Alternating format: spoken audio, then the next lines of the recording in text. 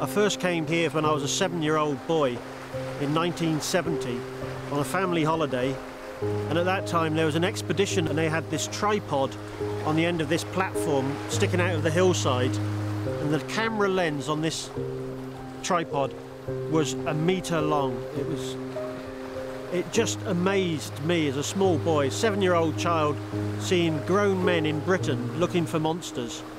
And I just fell in love with the whole mystery and the whole adventure and just got hooked on the whole subject.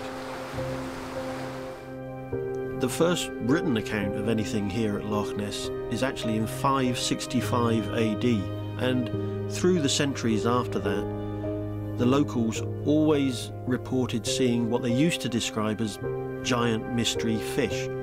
And most of those sightings can be dismissed as people's hopeful imagination.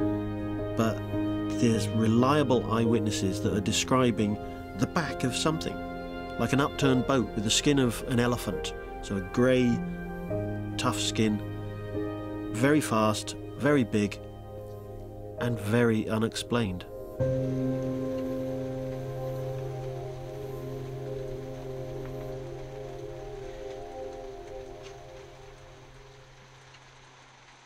In 1934, there was one photograph taken which is called the surgeon's photograph, and it's the classic neck sticking up out of the water.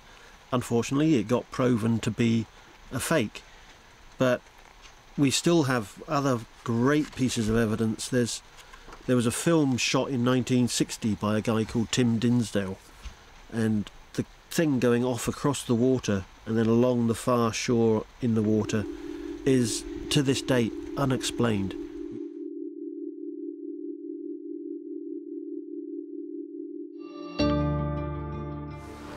I made the decision to do what I do full time after many years of coming here in my spare time for two weeks or three weeks.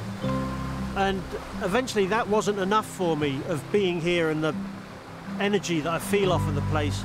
I just wanted to be here full time involved in this. If I'm away from Loch Ness and I meet somebody and I tell them what it is I do here, I think at first they don't believe me. And then when I spend time and I tell them the stories of what life is like the freedom and the adventure and the unpredictability of daily life here, they they get it then, and there's a lot of feeling of eugenius. Yeah.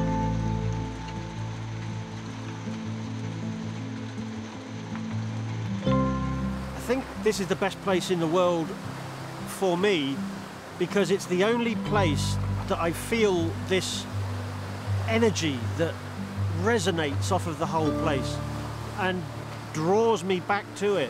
If I've been away somewhere else and I come back here, when I'm 10 miles away, I'm whooping with joy that I know over the next hill or over the next hill, there it's going to be, Loch Ness. And I used to think that that energy was the monster, was Nessie, and that that's what was drawing me back, this mystery. But so many other people that live here are drawn to here. And I know it's not Nessie because half of those people don't even believe Nessie is in here, but they're drawn by another energy, by the, the same energy I feel. It's, I don't get it anywhere else. It's, it's, it does make my heart sing. It just, it's, yeah.